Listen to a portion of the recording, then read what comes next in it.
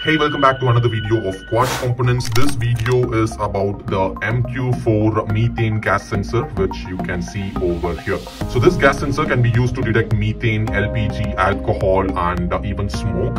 So it has more sensitivity to methane and then to alcohol, smoke, and LPG gases.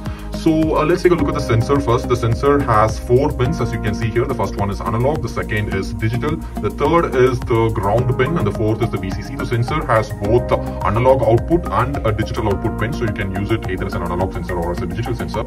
And then on the front side there is nothing here other than the actual sensing unit inside this metal mesh. On the back side you have a potentiometer, a comparator and two LEDs. This is the power LED. So as soon as you give 5 volt to the VCC pin and the ground to ground, this power LED will turn on and this LED will turn on whenever a gas is detected. So this LED is associated with the digital pin. Whenever a gas is detected, this LED will turn on. So this potentiometer here is used to control the sensitivity of the comparator or in other words, the threshold voltage for the comparator, meaning you can check uh, what is the value you're getting and based on that if you reduce this potentiometer the sensor will get more sensitive and if you increase the potentiometer the sensor will get less sensitive so with gas sensors especially, there is something called preheating.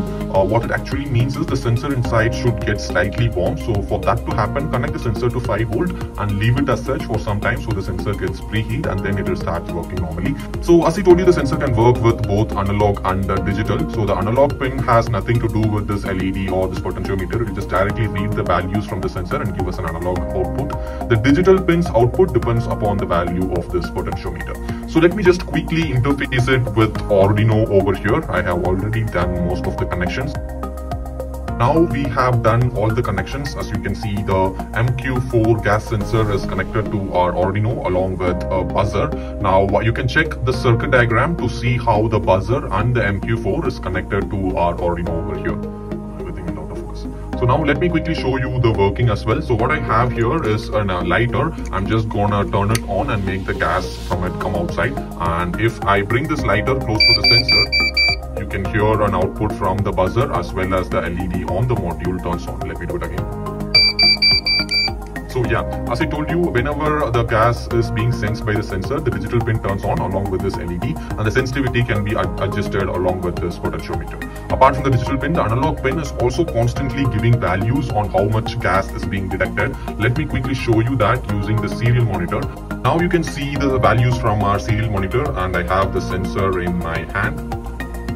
So uh, from this sensor, we are currently getting the values 24 and 25. Let's see how that changes if I bring the gas lighter near it. I'll turn it on so that the gas starts leaking. And if I bring it near,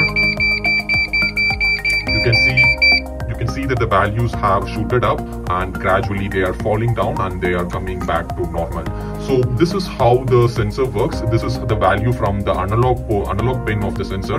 Let me quickly show you what the code is doing for these values to come on the serial monitor. Okay, so this is the complete code. I am not going to get into depth of everything, but let me just quickly give you some ideas. The A0 pin is the analog pin of the sensor, which is connected to the A0 pin of our Arduino microcontroller. And then we have the D0 pin, which is the digital pin of the sensor connected to pin 12 of our Arduino microcontroller. And then we have the buzzer connected to the pin 8 of the Arduino microcontroller. We are going to use the buzzer as the output and the digital pin as an input. So what we are doing in the program is we are reading both the analog value and the digital value as an example, but you can either use the digital or the analog one as per your comfort. So now we are uh, setting a threshold value above which we need the buzzer to beep and then the sensor value is being read from the analog read command which is the uh, A0 pin of our uh, Arduino microcontroller. So apart from this, the code is very, very simple. We are just going to read the analog voltage, compare it with the threshold, and if the threshold, if the value we are reading is more than the threshold, we will beep the buzzer. So the program is pretty simple. You can find more information on the circuit diagram, code explanation, and everything at the link given in the description of this video. Thanks for watching. Hope you understood how to use a MQ4 gas sensor uh, with Arduino. Have a great day. Bye-bye.